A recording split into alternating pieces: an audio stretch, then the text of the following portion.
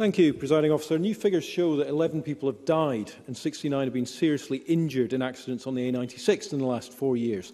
The Scottish Government promised in 2011 that it would be duelled by 2030, but that is now subject to a review at a cost of £5 million and whose publication has been delayed by over a year.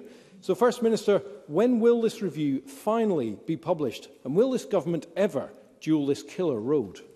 First Minister.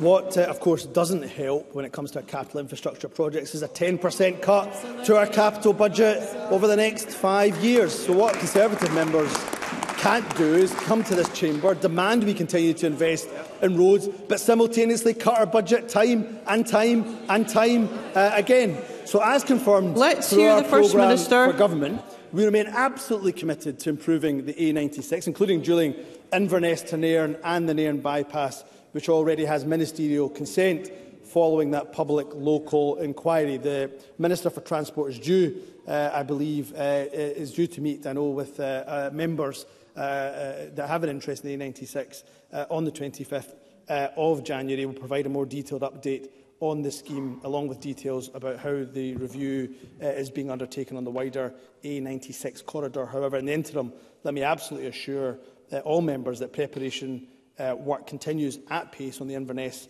uh, to Nairn, including Nairn bypass section, and I can advise that I expect orders for the scheme that will be made that will be made in the first quarter of 2024 with a view to completing the necessary statutory process. And